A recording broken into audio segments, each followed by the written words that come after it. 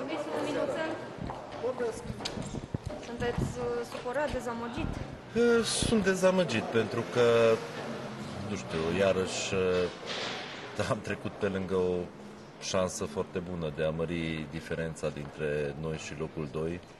Din păcate văd că pașii greșiți făcut de, făcute de celelalte, celelalte pretendente la titlu, în loc să ne motiveze să jucăm mai bine, să fim mai dornici, să aducem uh, puncte, parcă ne demotivează sau ne face temători uh, de a juca fotbal în primul și în primul rând, pentru că astăzi adevărul este că am primit ceea ce am meritat. Să mai bine zis, rapidul a obținut ceea ce a meritat, uh, a jucat excelent, felicitări rapidului, cred că au făcut cea mai bună partidă și practic le-a ieșit tot.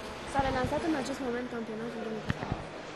În momentul de față, cum să spun, diferența dintre locul 1 și locul 2 este aceeași.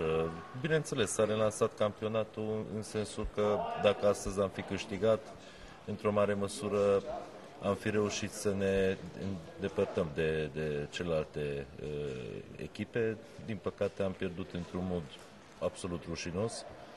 Eu sper ca această înfrângere să fie un duș rece corespunzător pentru jucători și să înțeleagă faptul că până la sfârșitul campionatului mai sunt foarte multe puncte puse în joc pe care într-un fel sau altul trebuie să le aducem în visteria noastră, fiindcă altfel campionatul de departe nu este jucat.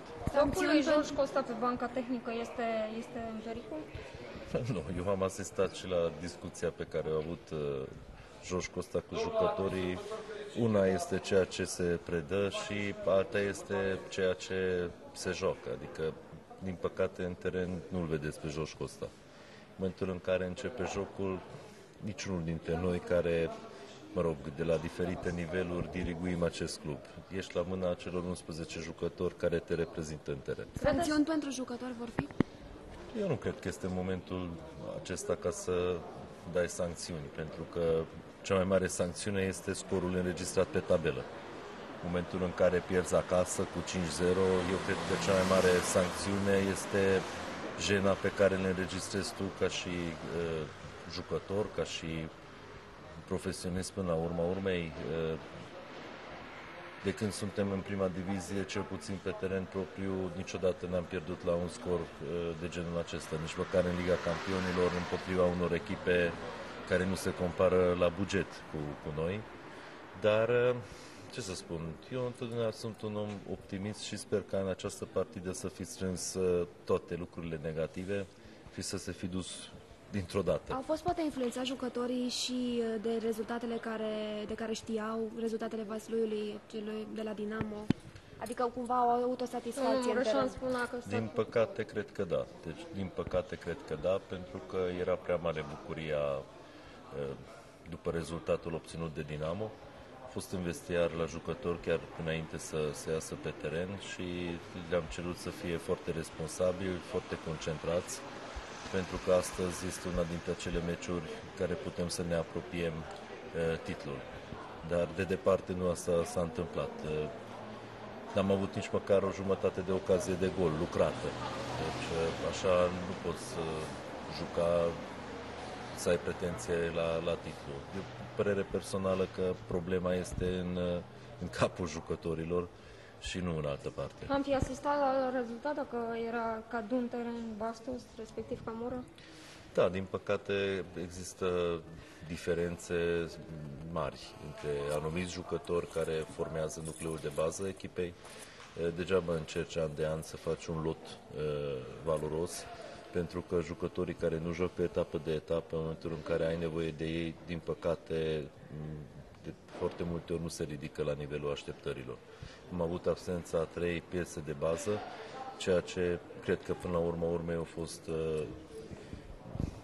de lucru care, care a definit uh, acest eșec, dar uh, eu nu aș dori să scuz pe niciunul dintre cei care au intrat în teren, pentru că ei sunt sub contract cu CFR-ul nu ca să facă figurație la antrenamente, ca să aibă ceilalți cu cine să se antreneze, ci sunt plătiți ca în momentul în care clubul are nevoie de ei, atunci să dea maxim de potențial. Din păcate, dacă asta este maxim de potențial, atunci locul lor cu siguranță nu este la CFR. Ce ideea pasă de gol și gol împotriva fostei echipe? Nu, bravo lui și bravo cu echipierilor. Deci orice victorie se obține în 11 sau, mă rog, câți jucători rămân la, pe, pe teren până la finalul jocului. El este un jucător foarte bun. Eu sper foarte mult ca să evolueze pe mai departe la echipe din ce în ce mai bune. Rapidul în acest moment o contracandidată periculoasă îi spun că vor doar cupa. E doar o strategie? Nu, eu cred că până când matematica ai șanse, niciun club nu refuză uh, ocazia de a câștiga un titlu. Uh, mai sunt 9 etape, sunt 27 de, de puncte puse în joc, este foarte mult. Este foarte mult. Eu zic că oricare dintre echipele care sunt undeva în 7 puncte au șanse reale de a dobândi acest titlu. Bineînțeles, acest lucru depinde în cea mai mare măsură de noi, pentru că având 5 puncte avans uh, față de locul 2, în mod normal, dacă ești o echipă responsabilă, ar trebui să știi să gestionezi acest avantaj și până la sfârșitul campionatului să nu cedezi uh, fotolul de liderat. După rezultatele din această etapă, Steaua e un adversar mai periculos, amenință mai mult CFR-ul? Oricare dintre echipele, v-am spus, echipele care sunt până în 7 puncte, zic eu, uh, în spatele nostru au șanse reale. Ați văzut ce rezultate sunt. Nu cred că foarte mult s-ar fi pariat pe victoria eh, Sibiului, mai ales în maniera în care a obținut-o împotriva Vasluiului. Nu cred că prea mult s-ar fi cheltuit bani pentru eh, a paria pe victoria Petrolului la, la București cum foarte probabil foarte puțini ar fi pariat pe un 0-5 în favoarea Rapidului astăzi, împotriva noastră. Aveți să-i dați o replică domnului Porumboie după ce s-a întâmplat la Sibiu? Nu, no, eu cred că replicile întotdeauna sunt în teren și așa ar trebui să fie. Fotbalul este un joc care ar trebui să, în primul și în primul rând, despre jucători, despre faze, despre reușite. Restul, cum să zic, acele show-uri de prost gust care fac unii conducători de fotbal, eu dacă aș fi în locul posturilor de televiziune nu le-aș mediatiza atâta. Sunteți de acord cu Mircea Sandu care spune că sunt uh, prea mulți străini în Liga 1 și ar arăta mai bine Liga 1 cu 14 echipe și prea puțini uh, români care joacă bine?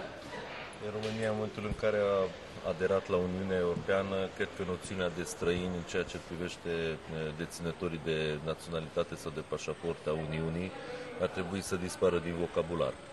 Eh, cu asta, cu asta aș începe. Eh, nu cred că poți să eh, faci o separație între așa zis și străini și cei autohtoni. Toate echipele mari de, de fotbal și toate campionatele sunt o mixtură de culturi fotbalistice. Îi regăsești pe sud-americani, pe africani, pe europeni. Eu nu cred că valoarea campionatului ar fi mai ridicată dacă de mâine ai scoate jucătorii străini. Eu cred că toate cluburile ar fi mai fericite dacă ar putea să aibă mult mai mulți jucători români, din, dacă nu din alte motive, din rațiuni economice, în primul rând. Nu, lor nu trebuie să le plătești bilete de avion până acasă, pe alte cele. Deci ai o grămadă de cheltuieli, să spun, costisitoare cu jucătorii străini. Dar, din păcate, din țara noastră lipsește o, o generație de sportivi. Și despre asta am mai discutat anii 90, lipsa infrastructurii, lipsa preocupării, Asta e situația. Înainte acestui meci uh, s-a vorbit foarte mult despre un duel al echipelor care au fost cel mai favorizate de către arbitri. Cum vi s-a părut uh, Colțescu în seara aceasta? Da, meciul a fost atât de clar încât uh, cred că Colțescu prea, prea, prea, prea multe de arbitrat nu a avut. Deci a fost o dominare așa de evidentă a Rapidului, încât eu cred că foarte puține au fost fazele care ar fi putut ridica semne de, ăsta, de întrebare. Bozovic, un exemplu? Da, Bozovic și ceilalți jucători de la Rapid eh, formează un nucleu puternic. S-a văzut cum a jucat Rapidul astăzi, s-a văzut eh, Rapidul cum a jucat și meciurile celelalte. Rapid este o echipă foarte bună. mulțumesc. mulțumesc.